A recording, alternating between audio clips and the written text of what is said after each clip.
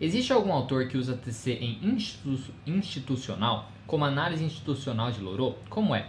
Olha, infelizmente eu não saberia dizer para você, porque como eu não trabalho com essa área institucional, com a área organizacional e tudo mais, eu não saberia dizer se existe algum autor, porque eu nunca fui pesquisar sobre isso, tá? Do pouco que eu pesquisei sobre isso, para ver se tem livros e tal, para tentar é, te responder, não foi uma coisa fácil de ser encontrada, tá? Existem alguns sites, é, blogs, assim, que falam um pouquinho como funciona a TCC na área organizacional, na área institucional mas infelizmente eu não saberia é, falar para você se existe um autor que fala alguma coisa sobre isso e tal.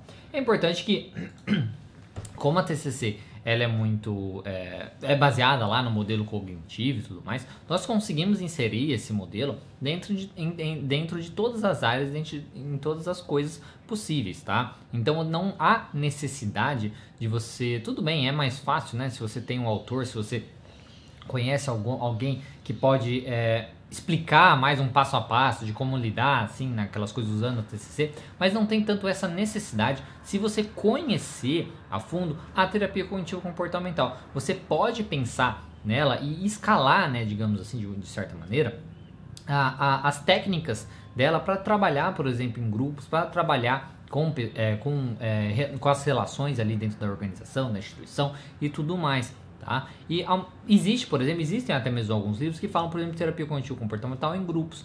Às vezes, é, esses livros, esses materiais falando sobre grupos, pode ajudar também nessa área organizacional, institucional, certo? Então isso é o que eu teria para falar para você. Se você conhecer o básico da terapia cognitivo comportamental, você conhece, consegue aí adaptar esse básico e inserir aí nesses meios, porque daí você vai trabalhar com as relações, basicamente, você vai trabalhar com a visão que as pessoas têm, então as interpretações que elas têm sobre as hierarquias, as interpretações que ela tem nas relações entre elas, no que um faz, o outro interpreta aquilo, é como ele se sente, aí o outro como ele interpreta aquilo e como ele se sente. Então, trabalhando com essas coisas dá para é, ajudar muito, tá, nas organizações e instituições. Infelizmente não saberia nenhum autor que fala sobre isso e pesquisando rapidamente aqui para te responder também não encontrei, tá certo? Então, mas o que eu aconselho é você buscar o básico e talvez a terapia cognitivo comportamental em, é, em grupos que pode te ajudar. Enquanto a isso da análise institucional de louro, eu não conheço, não faço ideia o que, que é, tá? não é a minha área, então não, não,